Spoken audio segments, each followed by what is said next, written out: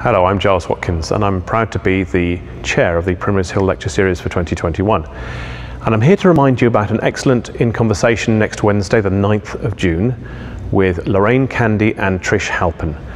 Lorraine will be talking about the subject of navigating family life, and she'll be sharing her decade plus of writing and, in fact, parenting experience. Uh, promises to be a frank and funny and informative evening, and she'll be drawing from her excellent new book, Mum, What's Wrong with You?